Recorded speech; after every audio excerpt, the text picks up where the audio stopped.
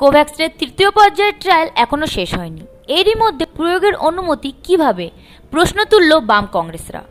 জরুরি ক্ষেত্রে ও শর্ত সাপেক্ষে দেশের করোনা নিয়ন্ত্রণে প্রয়োগ করা হবে অক্সফোর্ডের ভ্যাকসিন কোভিশিল্ড ও ভারত বায়োটেকের কোভ্যাক্সিন। এই দুই ভ্যাকসিনকে শর্ত সাপেক্ষে অনুমোদন দিয়েছে drug controller general of India. এরপরে কোভ্যাক্সিন নিয়ে উঠল নানা প্রশ্ন, কারণ ভারত বায়োটেকের এই ভ্যাকসিনের এখনও তৃতীয় পর্যায়ের ট্রায়াল শেষ হয়নি। এরই প্রসঙ্গে দেশের মানুষকে আশ্বাস দিলেন এইমস প্রধান ডক্টর রণদীপ গুলেরিয়া।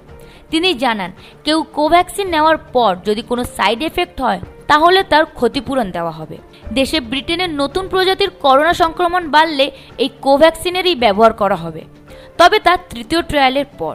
ক্লিনিক্যাল ট্রায়ালের সময়ও টিকা নিয়ে সাইড এফেক্ট হলে ক্ষতিপূরণের ব্যবস্থা ছিল। এবার আমজনতার জন্য এই একই ব্যবস্থা করা হয়েছে। অন্যদিকে ট্রায়াল শেষের আগে ভ্যাকসিন দেওয়ার অনুমতিতে বিতর্কিত প্রশ্ন তুলল বাম কংগ্রেসরা।